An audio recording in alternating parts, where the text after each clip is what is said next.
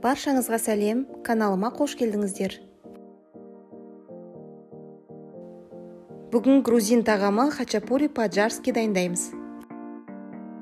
Каналыма тіркеліп рецепттерді бағалап отыруды ұмытпаңыздар достар. Тағамның толық құрамы видеоның астында описание бөлімінде жазылады.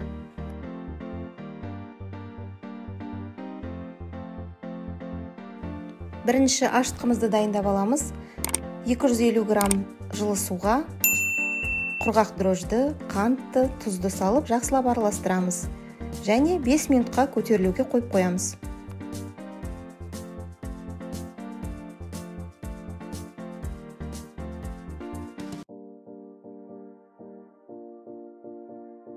ыдысқа 400 грамм ұнды елеп саламыз.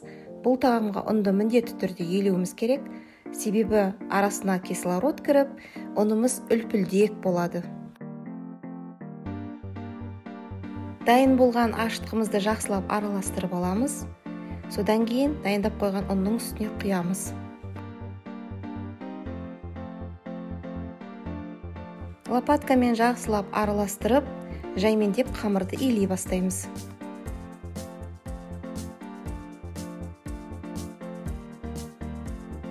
Қамырдың үстіне өсімдік майын құямыз. Әрі қарай қамырды илей береміз. Қамырдың басын осылай лопаткамен жақсылап біріктіріп алғаннан кейін әрі қарай қамырды қолмен илейміз. Яғни қамырымыз эластичный сондай жұп жұмсақ болғанша осылай қолымызбен илейміз.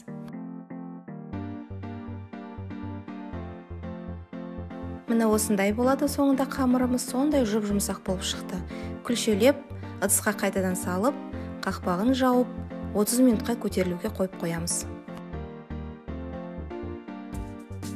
Қамырымыз екі есе өсіп мынандай болып көтерілді.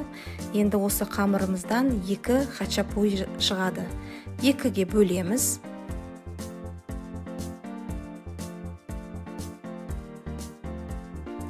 Осылай күлшелеп аламыз алдымен сонан соң оқтаумен жаямыз.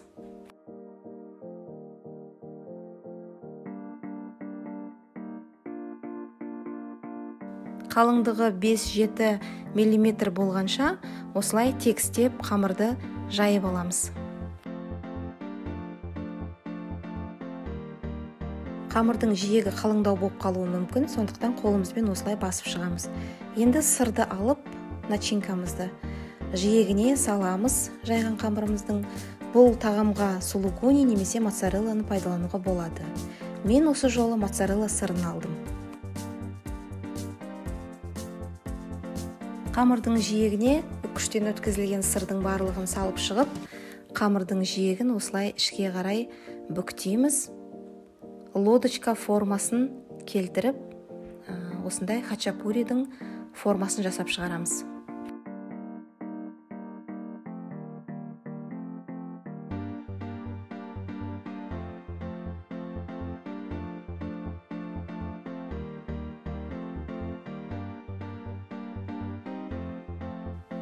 Қамырдың екінші бөлігінде дәл осылай жасап шығамыз. Ортасына тағы да үккіштен өткізілген сырды саламыз.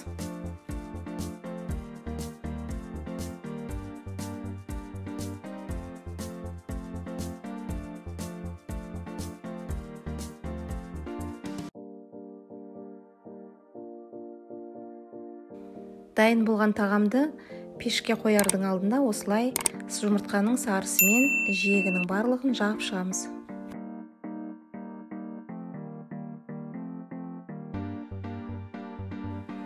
Сырдың үстіне осылай кесіп сары майдан саламыз.